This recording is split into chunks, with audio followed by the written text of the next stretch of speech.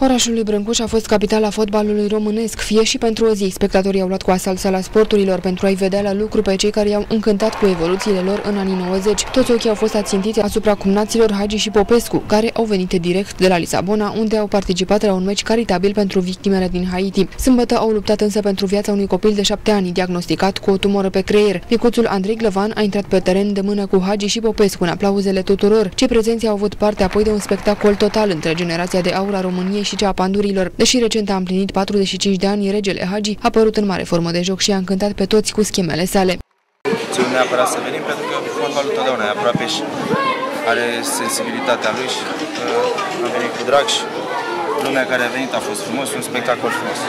Tricolorii s-au impus în final cu 5 la 4, însă scorul nu a mai contat pentru nimeni. Cu toții s-au bucurat la final că au pus umărul la salvarea vieții micuțului Andrei.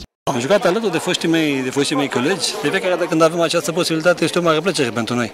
Din păcate trebuie să fim prezenți la un uh, eveniment minunat, dar care avea la bază un, uh, un caz mai nefericit, situația delicată a unui copil.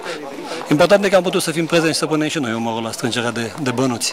Cauza asta pe care am, uh, am venit să o facem, nu? Să, să-l ajutăm pe băiatul care are nevoie și știm prin ce trece. Știu ce înseamnă să, să ai nevoie de ajutor pentru că eu am luat doi copii în plasament acasă, cu și ei cu probleme și uh, acum copiii simt că au și o familie. Totul s-a încheiat cu o licitație a tricourilor de joc a participanților. La mare preț au fost cele ale lui Hagi și Popescu, adjudecate cu 3.000 de lei fiecare. N-au trecut neobservate nici cele ale ultimelor doi tehnicieni al pandurilor, Cărțu și Ciobotariu, care s-au dat pe 1.200, respectiv 1.000 de lei că am participat la, la asemenea Mulțumim încă o dată, le mulțumim pentru că noi am jucat pentru spectatori și totdeauna fotbalul, fotbaliștii joacă pentru spectatori și înseamnă că i-am mulțumit. Suma totală strânsă de cei prezenți a fost de peste 50.000 de lei.